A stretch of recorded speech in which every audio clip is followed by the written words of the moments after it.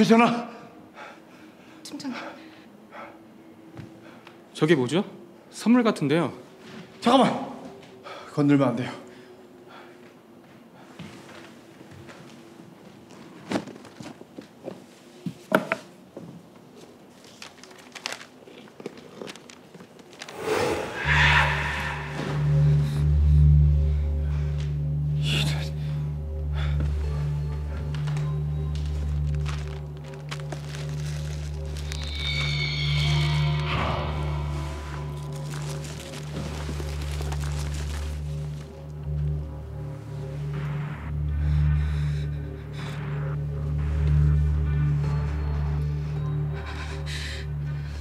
아무래도 이거 사람 머리칼 같으니까 강력반의 인계예요.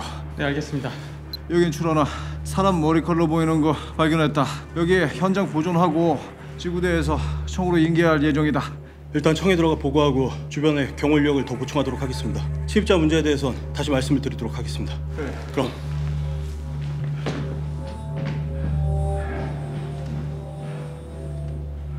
이건 모태구 짓이야. 이 새끼 나한테 경고를 했었던 거야. 계속해서 같이 놀자고. 이 도라이 같은 새끼. 그나저나 여기 말고 가 있을 때 있어? 각별히 주의하겠습니다. 팀장님 안 그래도 모태고 관련으로 드릴 말씀이 있었어요. 여긴 무향실이네. 그렇지 않으면 밖에 소리들 때문에 5분 이상 잠을 자지 못합니다. 참 산다는 게 쉽지가 않아, 그지? 그나저나 찾았다는 게 뭐야?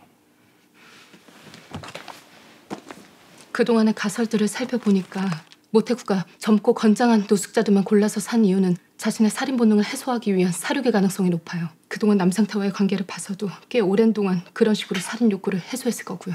그래서 그 장소만 찾게 되면 모태구를 잡을 수 있는 증거를 찾을 수 있을 것 같은데 그게 어딘지 도무지 모르겠어요. 그 가증스러운 새끼 쉽게 찾을 수 있을 만한 곳에 만들진 않았을 거야. 어쩌면 지혜가 그렇게 된 이유 그 장소를 찾아갔거나 또는 알았기 때문에 그럴 가능성이 높아. 그 장소. 녹음기. 지혜가 공출원이 찾아다니면서 기록하기 위해서 가지고 다녔던 그 녹음기 있잖아. 거기에 기록된 음성, 거기 안에서 그 장소에 대한 힌트 찾을 수 있지 않을까?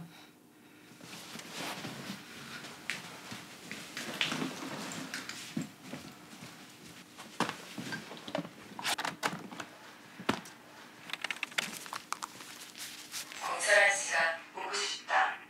언젠가 벌을 받을 거야. 죽은 다음이나 지옥에 갈 거야. 동호 아빠, 미안해. 뭔가 잘못되고 있는 게 분명한 것 같아. 너무 그 사람 잘못한 걸까? 들려? 어때? 볼륨을 최대치로 해봐도 휴대용 녹음기라 상태가 좋질 않아요. 어쩔 수 없지 뭐.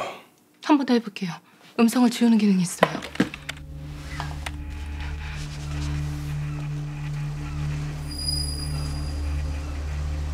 뭐지? 흐릿하게 깔리는 거 파도 소리잖아. 잠깐. 지금 어딘가로 들어가는 것 같아. 지금 다시 녹음을 시작한 거고. 근데 왜 음성이 살아있지? 분명 음성을 다 지웠는데. 그럼 이건 메아리야. 그래. 부팀장이 찾았어요. 장소는 바다 근처에 밀폐된 공간이에요. 굉장히 울리는 재질로 돼 있고요.